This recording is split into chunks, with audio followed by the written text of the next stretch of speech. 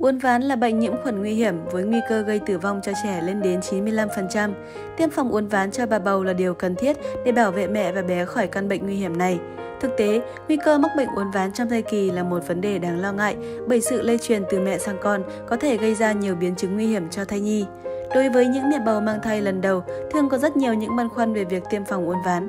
Hãy cùng tham khảo ngay những điều sau để tìm ra lời giải đáp cho thắc mắc của mình nhé. 1. Tại sao phải tiêm phòng uốn ván cho bà bầu? Uốn ván là bệnh nguy hiểm đến tính mạng do trực khuẩn Clostridium gây ra. Vi khuẩn này có thể dễ dàng đi vào cơ thể qua vết thương hở.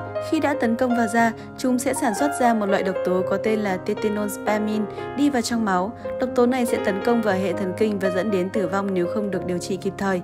Trực khuẩn uốn ván có mặt ở khắp mọi nơi trong môi trường sống.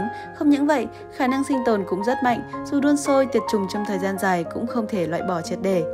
Phụ nữ mang thai là đối tượng có nguy cơ cao mắc bệnh uốn ván qua vết thương hở ngoài da khi chuyển dạ sinh nở. Trẻ sơ sinh có thể mắc bệnh uốn ván từ mẹ hoặc lúc được cắt dây rốn nếu các dụng cụ cắt rốn chưa được tiệt trùng kỹ. Uốn ván là bệnh có tỷ lệ tử vong cao, ở trẻ sơ sinh tỷ lệ này có thể lên đến 95%. 2. Thời điểm bà bầu nên tiêm phòng uốn ván. Nếu bạn chưa từng tiêm, chưa tiêm đủ 3 mũi hoặc không rõ tiền sử tiêm thì cần tiêm vaccine phòng uốn ván theo lộ trình sau. Lần 1, tiêm càng sớm càng tốt. Tuy nhiên, do 3 tháng đầu thai kỳ chưa ổn định nên đa phần các bác sĩ sẽ khuyên mẹ nên tiêm vào 3 tháng giữa hoặc từ khoảng tuần 20 trở đi. Lần 2, sau lần 1 ít nhất 1 tháng. Lần 3, tiêm sau lần 2 ít nhất 6 tháng hoặc tiêm ở lần mang thai thứ hai. Lần 4, tiêm sau lần 3 ít nhất 1 năm hoặc vào lần mang thai sau.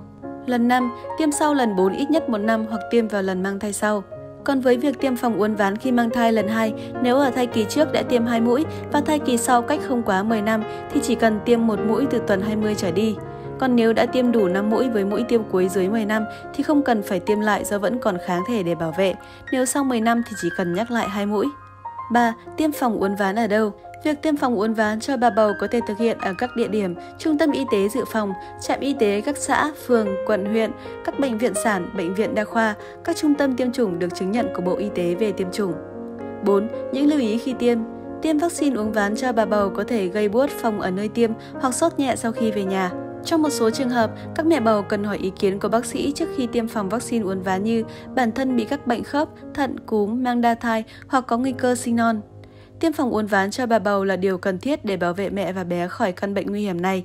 Vì vậy, các mẹ bầu hãy nhớ dành thời gian tìm hiểu và tiêm đầy đủ các mũi tiêm theo chỉ định của bác sĩ và trung tâm tiêm chủng nhé.